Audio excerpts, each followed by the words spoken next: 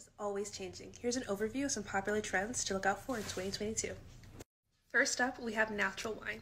Natural wine is actually made in the old traditional pre 20th century style with very limited to no preservatives or additives added throughout the entire process. That means from the time the grapes are grown to the time the wine is bottled. Now, there isn't a legal de- designation of what natural wine is, but typically they're made from organic or biodynamic grapes. They're often hand picked, and they're even grown in vineyards with a natural flora of them. So they don't really have that super pretty manicured look of what you see in beautiful vineyards that we've grown to know and love. Because they don't have preservatives and they haven't gone through the filtering process, a lot of natural wines will have that murkiness in color and even funkiness and smell to them.